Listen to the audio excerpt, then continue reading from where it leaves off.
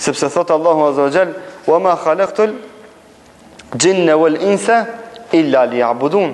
Thotë unë, xhinët edhe njerëzit i kam kriju që të m'adhurojnë qëllimi dhe poenta e krijimit të xhinave dhe njerëzve është adhurimi Allahut Azza wa Jall.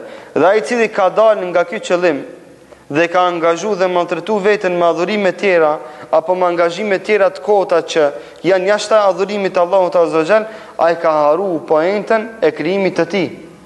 Dhe ky në poentën e ardhjes të tij në dunja, nuk ka dallim nga kafshet. Sepse edhe kafshet kanë strehim, edhe kafshet kanë ushqim, edhe ata kanë jetë në atë formën e vet, ama nuk dinë adhurimin Allahut Azza wa Jall. Për këtë shkak, Allahu Azza wa Jall përmend se ata që janë të definu, të devijum, thotë ata ndonjëherë i tejkalon, ndonjëherë janë si kafshet, e ndonjëherë thotë i tejkalojnë edhe kafshet. Edhe këtë e kimi na, do të thotë para syve tonë që e shohim, që gabimet që i bëjnë disa që janë devijum, as kafshet s'i bëjnë. Deformimet që i bëjnë ata, as kafshët s'i bëjnë. Zullumet, padrejtësitë që i bëjnë ata, as kafshët s'ia bëjnë njëra tjetrës. Edhe ata kanë një kufi të vetin.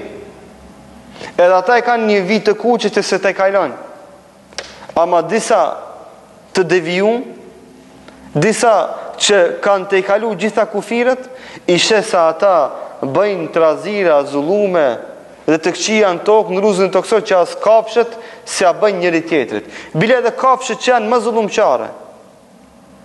Më të egra, më të ashpra, s'ia bëjnë këto padrejtësi njëri-tjetrit. Dhe na kina pa lloj-lloj do të thotë inserte, incizime, që kafsh zullumqare me kafsh zullumqare, e ka një kufi të vetin me atë.